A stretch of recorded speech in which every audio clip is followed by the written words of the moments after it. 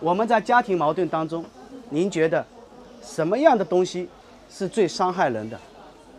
不是拳头，是我们的语言。多少的家庭矛盾都从语言当中而产生的。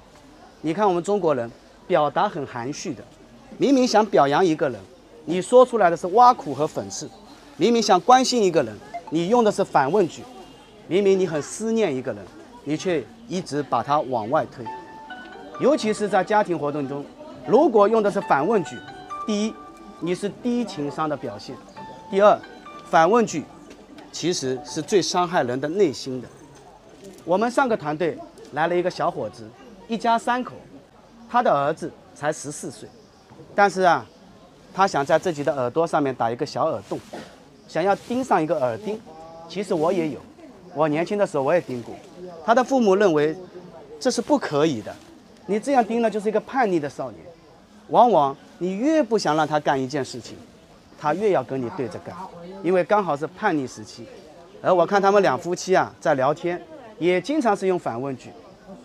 所以啊，你说孩子想做的一件事情，可能我们理解不了，但是你给他一点时间，也给彼此一点时间。你看我们学会说话，从牙牙学语，基本上要花一到两年的时间，却没有想到。我们这辈子，竟要用余生学会让自己闭嘴。他经常说自己叫什么？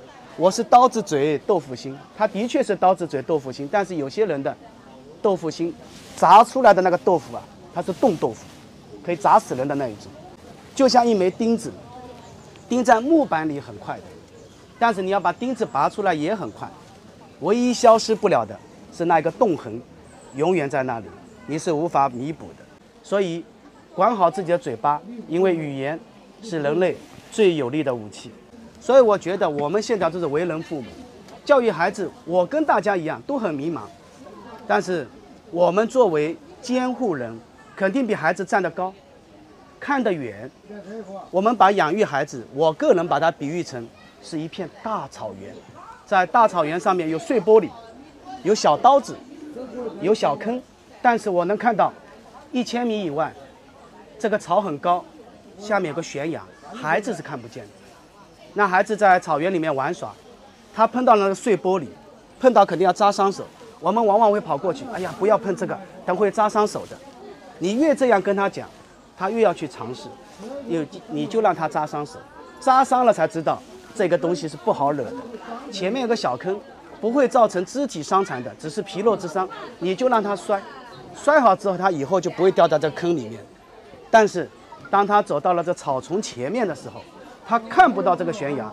作为我们监护人，我们要及时制止，因为这个掉下去，乃是万丈深渊啊！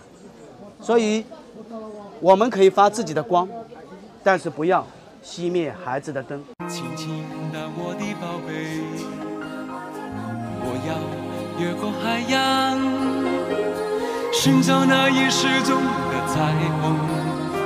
抓住瞬间失踪的流星，我要飞到无尽的夜空。